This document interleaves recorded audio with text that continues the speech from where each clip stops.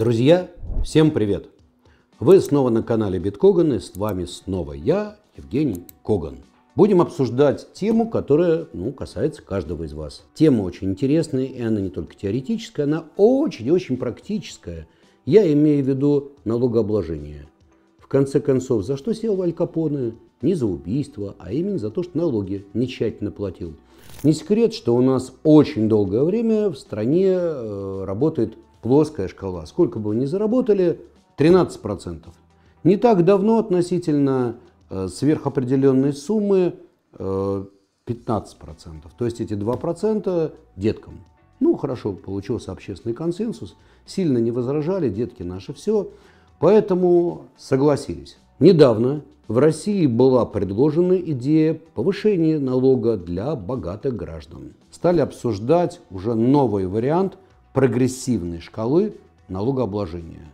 И, собственно, вот этот вопрос я хотел досконально обсудить, чтобы было понимание вообще, что происходит, насколько у нас много, немного относительно других стран, вообще как мы живем и как мы с этим будем жить.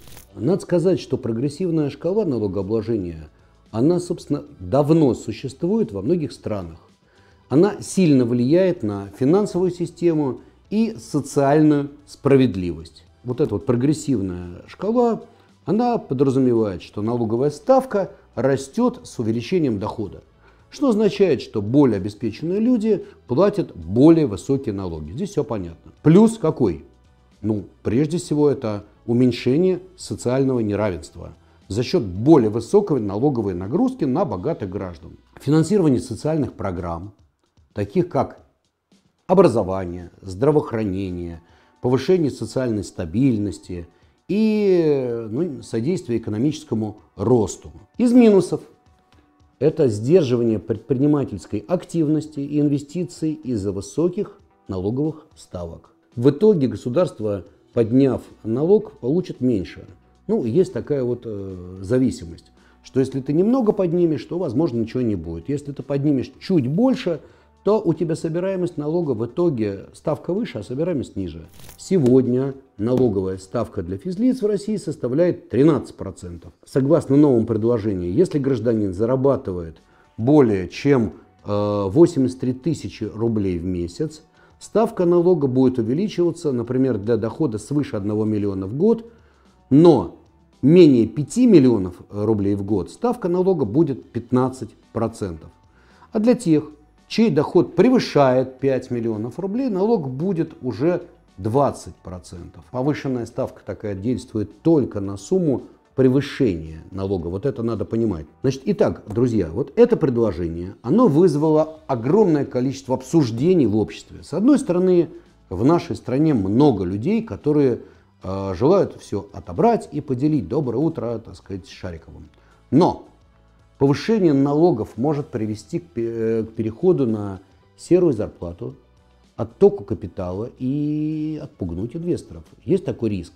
И в итоге э, негативно сказаться на экономическом развитии. То есть вроде как галочку поставили, а стали жить хуже. Американский экономист Артур Лафер еще в 1974 году разработал анализ, известный как кривая Лафера. Он говорит, что чем больше денег собирается в виде налогов, тем меньше денег бизнес и люди готовы инвестировать.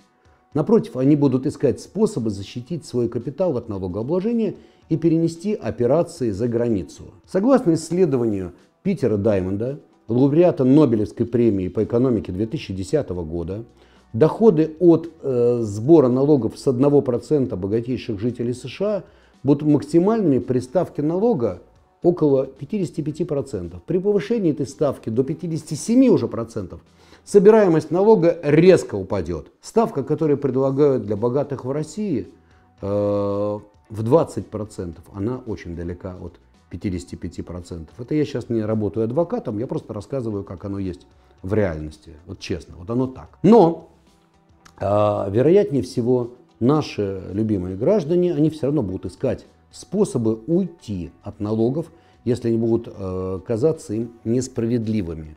Давайте взглянем на цифры.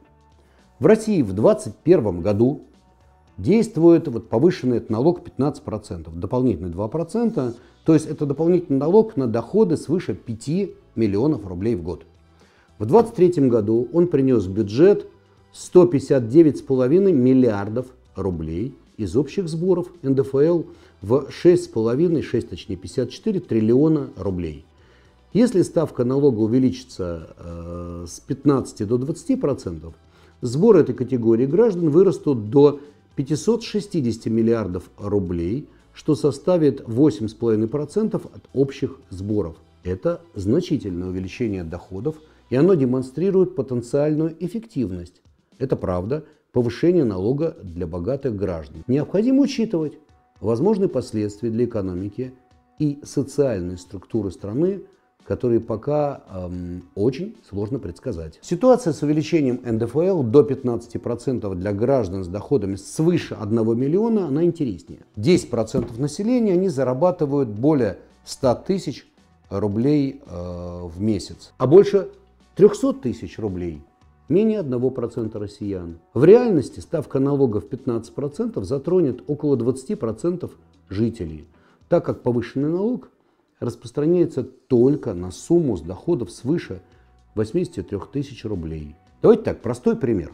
Человек заработал 2 миллиона рублей в год или примерно 167 тысяч в месяц. Ну, для Москвы не такая уж и большая зарплата. По старой ставке в 13% он должен будет заплатить примерно 260 тысяч рублей налогами. А с введением ставки в 15% с первого миллиона он платит те же самые 13 процентов, то есть 130 тысяч, а со второго уже 150 тысяч рублей.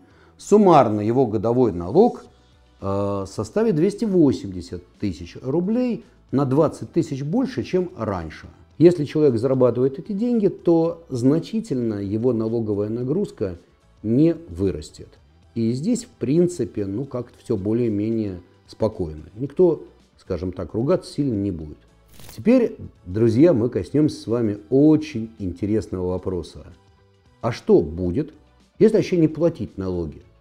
Если декларация подана с опозданием, просто опоздание, выпишут штраф 5% от суммы налога за каждый месяц, но не более 30%. Если налог по декларации занижен, то НДФЛ да начислят. Плюс придется заплатить штраф 20% и еще на минуточку 40% за умышленное занижение или сокрытие налога. Вот здесь очень интересный момент. Налоговая, она действует по презумпции виновности. Вот каждый должен это четко понять. Я же случайно, это ошибка. Налоговая говорит, нет, батенька, это не ошибка. Это больше, чем ошибка, это преступление. Вы говорите, ну как же, ну я просто обсчитался. Это не нарочно. Я нечаянно. Налоговая говорит, хо-хо-хо, за нечаянно бьют отчаянно. Вот как-то так. Еще такой важный момент. Неоднократное э, сокрытие доходов считается уклонением от уплаты налогов за крупные суммы. И нарушителя ждет уже не административная, не денежная, а уголовная ответственность. И нам надо помнить это. Вот оно такое есть. Просто надо знать. За такое нарушение суд назначает штраф от 100 до 300 тысяч рублей – или в размере годовой или двухгодичной зарплаты. Также предусмотрено наказание в виде принудительных работ на срок до одного года, ареста сроком до 6 месяцев, либо тюрьмы на срок до одного года. Довольно серьезная штука, и я думаю, что каждый, кто это слышит, понимает, что лучше с этими штуками не играть. Это слишком опасно. Повышение налогов для богатых граждан имеет Э, разные аспекты. С одной стороны, это может увеличить доходы бюджета и финансирование социальных программ, мы об этом говорили. С другой стороны, это может быть дополнительной финансовой нагрузкой для людей. Какие меры будут предприняты в итоге? Мы с вами будем наблюдать. Давайте пока глянем, как э, устроена прогрессивная шкала налогообложения в других странах. Это важно для понимания и сравнения. В Германии одна из самых сложных систем. Здесь налоговая ставка зависит не только от личного дохода, но и от семейного положения, что, в общем-то, разумно, э, место работы и количество детей.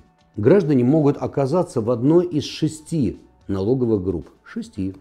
Например, те, кто зарабатывает свыше 260 тысяч э, евро в год, то есть это примерно 26 миллионов рублей, облагаются налогом в размере 45%. Менее 9 тысяч евро, то есть это примерно 900 тысяч рублей, э, они вовсе освобождаются от уплаты налогов. В Финляндии используется шестиступенчатая коробка передач, шучу, шестиступенчатая шкала. Здесь налогом облагаются не только заработные платы, но и пенсии, социальные пособия, стипендии. Кстати, вот это для меня загадка, если честно. Зачем пенсии облагать налогом? Необлагаемым минимум тут считается зарплата до 16 тысяч евро, то есть 1,6 миллиона рублей.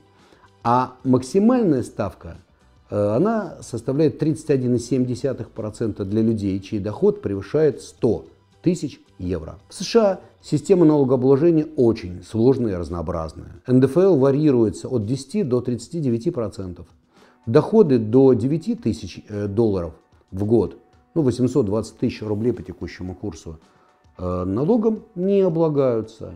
Но каждый штат, ну штат это штат, они могут делать, что хотят. Они могут установить собственные налоги, которые могут составлять до 13% дополнительно. А куда денутся? Либо переезжай. Многие переезжают в другой штат. Куда поступает НДФЛ? Это тоже важный вопрос, и его надо обсудить. Согласно статьи 56 и 61 Налогового кодекса, 85% от ДФЛ остается в регионе, а 15% поступают в городской бюджет. И вот, вы знаете, это очень важный момент, который надо знать, потому что мы все умные. Говорим, ну, наше государство нас грабит, давайте снижать налоги. Только мы забываем, что во многих городах и регионах их бюджет сформирован исключительно из этих денег. И если вдруг мы повысим вот эту шкалу необлагаемую, то там эти регионы по миру пойдут и будут требовать трансферт, соответственно, из центра. Вот такая вот э, проблема. Если же физлицо платит НДФЛ по другим доходам, например, с арендной платы за недвижимость или инвестиции, то налог распределяется по месту его постоянной регистрации. Место, честно говоря, практического проживания при этом э, абсолютно никакого не имеет, вот, и это тоже надо знать. НДФЛ и другие налоги – это основной источник доходной части государственного бюджета, по крайней мере, вот в регионах. Э, в 2023 году на долю НДФЛ пришлось 25,8% совокупных всех доходов регионов. Самая большая доля этого налога в Москве 53,13%. Ну, это понятно. Что можно сказать в заключение? Прогрессивная шкала налогообложения, она действительно играет важную роль в современных экономических системах.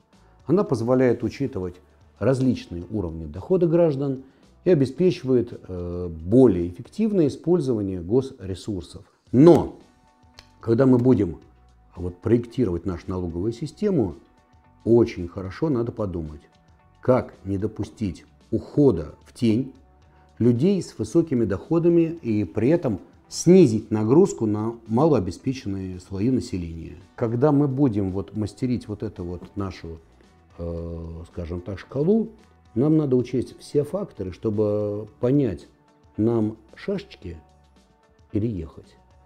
Если шашечки, вот шашечки, да, красиво, социальная справедливость. Ну что, ну перестанут платить богатые, в итоге получим меньше. А если ехать, то надо изучить, где та максимальная шкала, выше которой, ну, вот не стоит повышать э, налоги. Вот это все надо понять, рассчитать, 10 раз, как я уже сказал, 20 раз отмерить, а потом вести. Это вопрос и экономический, и социальный, и научный, и политический. Друзья,